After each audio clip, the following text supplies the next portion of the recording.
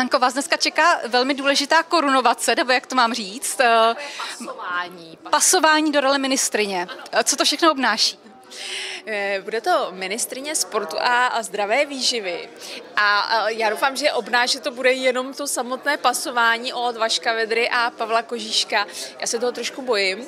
Pavel zase něco vymyslel já jsem starý vůl na to kývla. A doufám ale, že z toho budu nějak profitovat. Že jako teď, když budu tam ministrině, takže z toho budu nějaké profity. Tak pořád to souvisí s tou výživou. Tak co byste třeba uzákonila, možná i pro děti? No, tak pokud bychom si měli o tomhle bavit, tak určitě to jídlo stále v těch stravovacích zařízeních, ať to jsou dětské družiny a tak dále, úplně není to, co by mělo být. Takže asi to, aby tam fakt ty děti měly něco zdravého. A ten, ten pohyb, jako, to je taky, to je další kámen úrazu v dnešní době elektroniky, kdy děti mají tablety a mobily přirostlé k ruce, tak samozřejmě to jde znát i na tom, jak vidíte, ty děti trošku nabývají i jako v těch kulatějších tvarů, takže tohle všechno, kdybych fakt na to jako měla možnost nějakým způsobem mít vliv, tak tohle bych změnila. No a váš syn Andrásek se stravuje jak? tak a já, oni jako my, on vlastně ty návyky, to je ono, jo, že oni ty děti samozřejmě přebírají naše návyky, takže pokud eh, rodiče prostě se stravují nezdravě, jak to dítě to přebírá.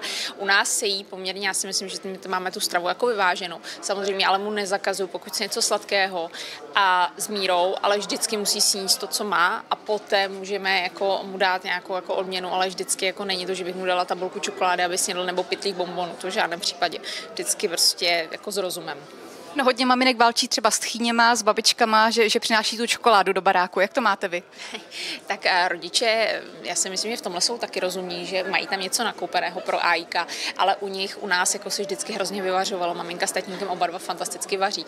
A u nás jako nebylo jako jedno jídlo na výběr goberu, u nás byly třeba tři, to je doteď, takže AIK jako přijde a má tam nastrojeno. A mamka ho tak napucne tím klasickým jídlem, jako tím opravdu poctivou českou kuchyní, že on potom už na to sladký ani chuť nemá.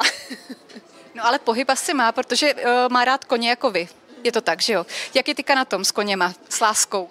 No on má obecně rád strašně zvířata. Já jsem ráda, že to, tohle to eh, jakoby nějakým způsobem podědil po, po mně a i manžel má rád zvířata. On hodně teda kromě koní, on ke, se mnou chodí ke koníkům, ale hodně i chodí na MMA, manžel ho bere už na tréninky, takže jako on je neustále v pohybu, jako neustále furt někde běhá, to má od malička. No a je taky taky jako fakt jako hubeňůčky, pavouček, ale on asi nemá být pokom z nás jako oplácaný. No a já jsem slyšela právě teďka, nebo slyšela, četla jsem na všem Instagramu, že jste zhubla. A, a čím to je? Já jsem zhubla, což mě, já vím, že teď spousta ženských říká, Ježíš, to je ale koza, protože by byly za to rády, ale já jsem nechtěně zubla, já jsem měla poměrně jako těžký zánět ledvin a dlouho jsem se s tím prala skoro tři týdny a já prostě, když přestanu cvičit, tak já začnu bývat na váze. Mě to cvičení jako drží u té mé váhy, protože tam mám i nějakou svalovou hmotu, takže jsem jako zubla, ještě jsem měla i nějaký stres. Uh, měla jsem i makléřské zkoušky, protože jsem ze mě se stala realitní makléřka, takže na to jsem se učila, udělala jsem si uh, jako certifikaci osvědčení a aktuálně se věnuji realitám, což byl můj dlouholetý sen a konečně jsem ho zrealizovala a to je jedna z věcí, která mě jako hodně teď naplňuje. No a tak teda, co to znamená? Takže teď budete mít jako nový job a končíte se, vlastně s jobem moderátorky a modelky a tady u Pavla Kožíška už taky jako nebudete působit. Jak si to mám vyložit? Ne, s Pavlem už spolupracujeme 14 let, tam je to už jako přátelství, a, takže to, to určitě nebudu z toho ustupovat. Pavel mi byl vlastně i za svědka jako na svatbě. A dále samozřejmě mě jako hodně i uh, jsou spolupráce na Instagramu, to mě živí, uh, občas moderování, ale ty reality mě fakt strašně dlouho lákaly. Mě, jako, to, to byla jedna z věcí, kterou jsem si říkala, abych do budoucna chtěla dělat, takže teď prostě se budu snažit to nějak kombinovat a postupně k tomu přecházet, protože si myslím, že v těch realitách je nějaká jako budoucnost. On furt na mě nikdo na tom Instagramu a v divadle zvědavý v 50 nebude.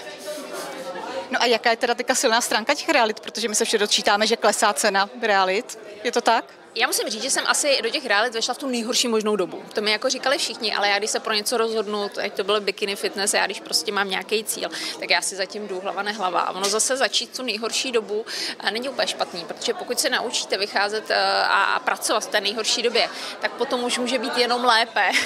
A, a samozřejmě je vždycky lepší se přizpůsobovat tomu lepšímu trhu. Já si myslím, že tahle ta doba, že pomalinku, pomalinku se to bude zvedat, ale samozřejmě asi ty úroky těch hypoték, které to hodně ovlivnily, ještě tak aspoň rok vydrží, tak uvidíme, ale já si myslím, že už nás čeká, doufám, v to lepší budoucnost.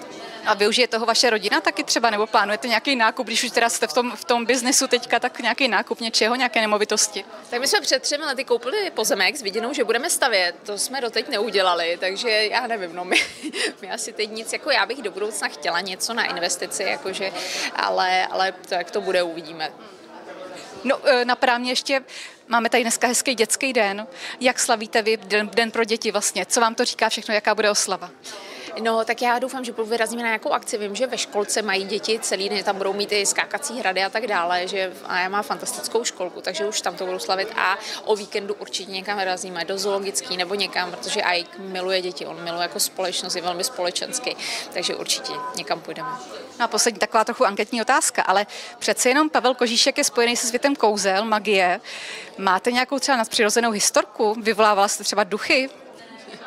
ne, Pavel, ne, Pavel jediný, co tak prostě, on je strašný perfekcionista, což jako obnáší velmi často taky jako fakt vtipný příhody, protože on chce mít všechno pintlech a, a ne vždycky to jde, a, takže to, to je jediný, že jako, ale jinak s ním takže jako těch vtipných historek našich je spoustu, ale teď, když po mně nějakou chcete, tak si žádnou nevybavím.